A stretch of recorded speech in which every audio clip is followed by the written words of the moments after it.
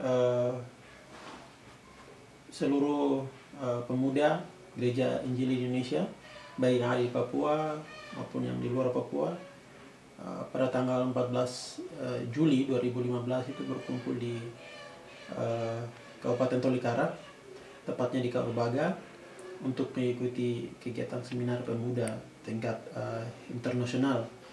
Pak Gubernur Papua Pak Lukas NMB membuka eh, kegiatan dan berikutnya Pak Ketua DPR dan beberapa tokoh-tokoh Gidi yang lain yang menyampaikan materi dalam kegiatan itu. Tepatnya pada tanggal 17 eh, Juli 2015, waktu itu kami tinggal di penginapan eh, tepatnya di kantor Plasis eh, eh, Gidi wilayah Konda, eh, Klasis Konda. Kami tidur situ dan pagi-pagi pagi-pagi sekali teman-teman ada beberapa teman-teman yang datang uh, membangunkan kami uh, untuk uh, meminta uh, kita sama-sama untuk uh, bercerita berbicara kepada aparat keamanan maupun teman-teman muslim yang uh, beribadah di situ beribadah sholat id waktu itu uh, karena kami sudah sepakat bahwa tidak ada tidak boleh pakai pengeras suara dan lain-lain. Jadi waktu itu kami turun saya pegang kamera saya eh, jalan dan saya rekam eh, kejadian-kejadian yang ada. Dan awalnya kami pergi dan kami hanya sampaikan aspirasi. Kami eh, beradu argumen kami sampaikan dari pihak teman-teman eh, muslim mengatakan bahwa kami sudah mendapatkan izin daripada Pak Bupati Uh, dan mereka berani bikin di luar di halaman uh, uh, kodim setempat. Uh, setelah adu mulut kami dikumpulkan oleh uh, tokoh-tokoh gereja, um, kakak-kakak kami duduk di airport uh, di Tolikara di Karubaga. Kami duduk dan diberi arahan, dikasih motivasi, uh, dan di saat itu kami melihat ada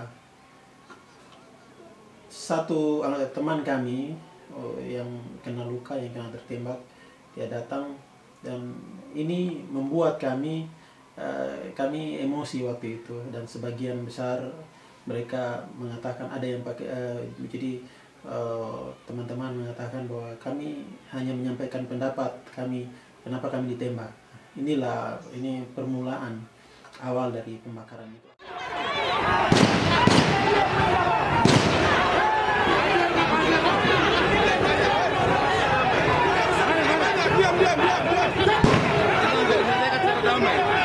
Ambil sikap saja sebentar di Kongres. Bikin tanda tangan semua wilayah. Nah ini yang saya bilang setelah meli- uh, dia melihat saya merekamnya dia masukkan kembali pistolnya. Ini intelijen juga anak asli Tolikara. Ini tempat ibadah, uh, tempat teman-teman beribadah sini yang barang. Yang mana tadi? Yang mana tadi? Oh itu. Ini, ini tempatnya. Itu itu tempat beribadah apa itu? Iya, tempat uh, sholat id pagi itu. Nah ini kami uh, sesudah masa kumpul ada beberapa yang ini. Ini tempat kegiatan, eh, tempat sholat id. Ini eh, karena sudah ada yang lari ke belakang di kios-kios ini, makanya semua perhatian ke sebelah. Yang ini? Nah, yang ini uh, jadi setelah uh, orang tua uh, tokoh-tokoh gereja tadi sudah membawa kami dan kami di uh, ini di uh, di bandar udara Tolikara Karubaga ini kami sudah duduk semua. Ini sudah duduk semua di sini. Ada beberapa arahan dari uh, tua-tua gereja. Ini uh, wakil ketua satu uh, DPR Kabupaten Tolikara ini uh, sudah menyampaikan. Tapi setelah kami uh, mereka ini melihat ada yang uh, anggota mereka teman mereka adik mereka yang tertembak kakinya maka reaksi itu pun muncul nah ini aksi uh, ini kios-kios yang uh, akhirnya terbakar. Semua mengamuk awalnya mereka lempar-lempar.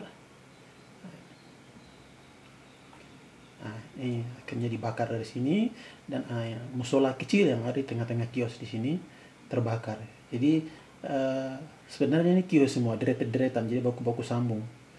Baku sambung semua tidak ada celah kios-kios ini di sini terbakar semuanya terbakar musola kecil ada tengah-tengah sini jadi tidak ada masjid yang besar yang dibakar se- seperti yang diberitakan oleh media massa Indonesia ini Nah, ini uh, setelah bakar, uh, setelah semua terbakar, uh, masa kumpul di atas untuk karena mau bicara dengan bupati.